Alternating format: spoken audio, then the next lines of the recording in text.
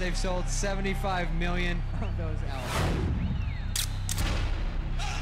26 of which went gold, platinum, or multi-platinum.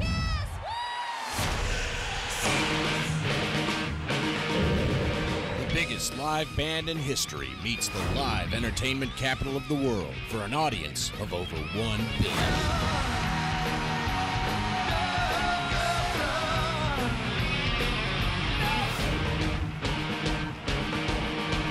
Kiss, live in Las Vegas. Hold on to your children, it's Kiss.